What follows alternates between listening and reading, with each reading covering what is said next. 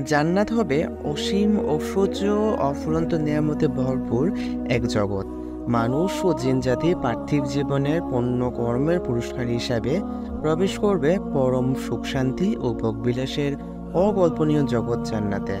অপ্রত্যাশিত নয়নাবিরাম জান্নাতে সর্বপ্রথম কে ও কারা প্রবেশ করবেন, এ কৌতূহল সব মমিনের অপার্থিব। সে অবস্থায় কিছু পদার্থ বর্ণনা করা হলো।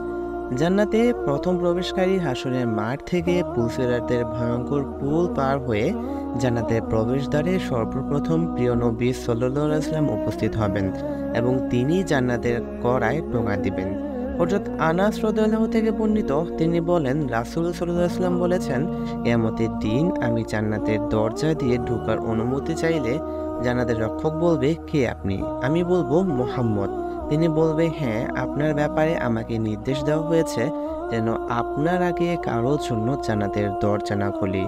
উম্মতের মধ্যে প্রথম প্রবেশকারী প্রিয় নবীর মাধ্যমে জান্নাতের প্রধান খটক খোরার সর্বপ্রথম উম্মতে মোহাম্মদী প্রবেশ করবে। হরজত আবু হুরারা থেকে বর্ণিত, তিনি বলেন, রাসুল সাল্লাম বলেছেন, আমরা সর্বশ্রেষ্ঠ উম্মত, কিন্তু কেয়ামতি দিন জান্নাতে প্রবেশের ক্ষেত্রে থাকব সবার অগ্রগতি দলে। যদিও তাদেরকে কিতাব দেওয়া হয়েছে আমাদের আগে এবং আমাদেরকে কিতাব দেওয়া হয়েছে তাদের পরে। উম্মতে মোহাম্মদের মধ্যে সর্বপ্রথম জান্নাতে প্রবেশের সৌভাগ্য লাভ করবেন হরজত আবু বকর রতেলাহু তারপর আমল ও মর্যাদার পরিমাণ অনুযায়ী অন্যরা প্রবেশ করবেন। অর্থাৎ আবু হুরারা থেকে বর্ণিত রাসুল সাল্লাহ আসলাম এরশাদ করেছেন, জিব্রাইল এসে আমার হাত ধরে জান্নাতের দরজা দেখালেন। সেই দরজা দিয়ে আমার উম্মত জান্নাতে প্রবেশ করবে। তখন আবু বকর রদুল্লাহ বলেন হে আল্লাহর রাসুল, আমিও আপনার সঙ্গে থাকব, যেন জান্নাতের দরজা দেখতে পারি। তখন রাসুল সাল্লাহ আসলাম বলেন, হে আবু বকর, শুনো, আমার উম্মতের মধ্যে সর্বপ্রথম তুমি জান্নাতে প্রবেশ করবে।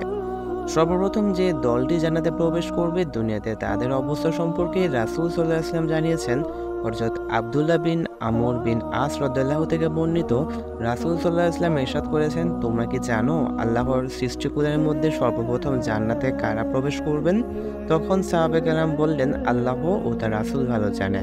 তখন নবীজি সাল্লাহ ইসলাম বললেন আল্লাহ সৃষ্টিকুলের মধ্যে সর্বপ্রথম জান্নাতে প্রবেশ করবে দরিদ্র মুজাহিদরা, যাদের মাধ্যমে সীমান্তের প্রহরা নিশ্চিত করা হতো। তাদের মাধ্যমে যে কোনো আপদ বিপদ দূর করা হয়। এমনভাবে তাদের মৃত্যু হয় যেন আশা, আকাঙ্ক্ষাগুলো তাদের অন্তরের ভিতরে রয়ে যায়।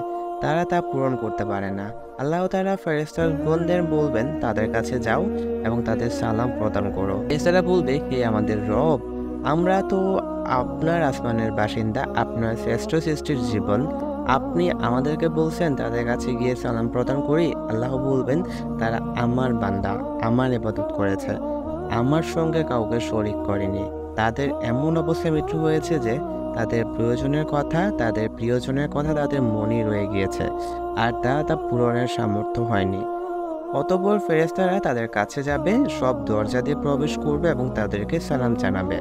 বলবে, ধৈর্য ধারণের ফল হিসাবে তোমাদের উপর শান্তি বসিত হোক। তোমাদের শেষ জীবন কতই না উত্তম। ধনীদের আগে দরিদ্রদের জান্নাতে প্রবেশ, বিভিন্ন হাদিসে দরিদ্র মোজাহিদদের ধনীদের চল্লিশ বছর আগে জান্নাতে প্রবেশের কথা বর্ণিত হয়েছে। হরজত আবদুল্লাহ বিন আমুল রদুল্লাহ বলেন, একদিন আমি মসজিদে বসেছিলাম। দরিদ্র মুজাহিদগণদের একটি দল মসজিদে বসা ছিল। এমন সময় রাসুল সুলাইসলাম এসে বললেন, তাদের কাছে এসে বললেন দরিদ্র মুজাহিদরা সুসংবাদ গ্রহণ করুন। তাদের চেহারা উজ্জ্বল হোক, কারণ তারা ধনীদের চল্লিশ বছর আগে জানাতে প্রবেশ করবে। আমি দেখলাম তাদের রং পরিবর্তন হয়ে উজ্জ্বল হয়ে গেল। আমারও আশা জাগলো, আমিও যদি তাদের মধ্যে হতাম, কেউ হতাম অন্য হাদিসে পাঁচশো বছর আগে জানাতে প্রবেশের কথা এসেছে। হরজত আবু হুরেরা থেকে বর্ণিত তিনি বলেন, রাসুল সাল্লাম বলেছেন, দরিদ্রগণ ধনীদের পাঁচশো বছর পূর্বে জান্নাতে প্রবেশ করবে। এই পাঁচশো বছর হচ্ছে আখিরাতের এক দিনের অর্ধেক। সুরানে তিরমিজির অন্য একটি বর্ণনায় আছে, দরিদ্র মুসলমানগণ ধনী মুসলমানগণের অর্ধেক দিন পূর্বেই জান্নাতে প্রবেশ করবে। আর এই অর্ধেক দিনই হচ্ছে দুনিয়ার পাঁচশো বছরের সমান। এইসব হাদিসের মাঝে সমন্বয় করে হাদিস বিশারদগণ বলেছেন, আসলে আখিরাতের একদিন হবে দুনিয়ার এক হাজার দিনের সমান। তাই কোনো হাদিসে অর্ধ দিন এবং কোনো হাদিসে হচ্ছে পাঁচশো বছরের কথা বলা হয়েছে। আখিরাতের বিবেচনায় যা অর্ধদিন আমাদের পৃথিবীর হিসাবে সেটাই পাঁচশো বছর। আসলে আমলের তারতম্যের কারণে কেউ আগে কেউ পরে জান্নাতে প্রবেশ করবে। যেমন মুমিন গুনাগার বান্দা হিসাবে তাদের পাপের পরিমাণ অনুযায়ী কিছু কাজ জাহান নামে থাকবে। বসিরাত অতিক্রম করতে আমাদের আমলের তারতম্য অনুযায়ী সময় আগ পিছ হবে। দরিদ্রগণ যারা আগে জান্নাতে যাবেন, তাদের মর্যাদা পরে জান্নাতে প্রবেশকারীর চেয়ে বেশি হওয়া অত্যাবশ্যক নয়। বরং অনেক ক্ষেত্রে যারা পরে জান্নাতে যাবে, তাদের মর্যাদা আগে প্রবেশকারীর চেয়ে বেশি হতে পারে। ধনীদের সম্পদের হিসাব দেওয়ার পরে যখন দেখা যাবে তারা আল্লাহর শুক্রিয়া আদায় করেছে, বিভিন্ন সৎকর্ম, কল্যাণকর কাজ, দান ছটকা ও ভালো কাজের মাধ্যমে আল্লাহর নৈকট্য লাভ করেছে, তারা আগে জান্নাতে প্রবেশকারী, দরিদ্র লোক যারা এসব আমল নেই তাদের চেয়ে বেশি মর্যাদা লাভ করবে।